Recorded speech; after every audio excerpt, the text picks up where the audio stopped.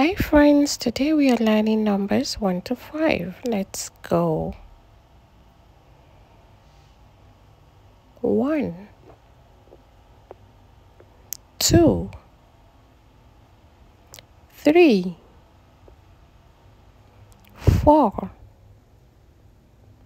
5 1 2 3 4 five. One. One two. One two three. One two three four. One two three four five. One two three four, five.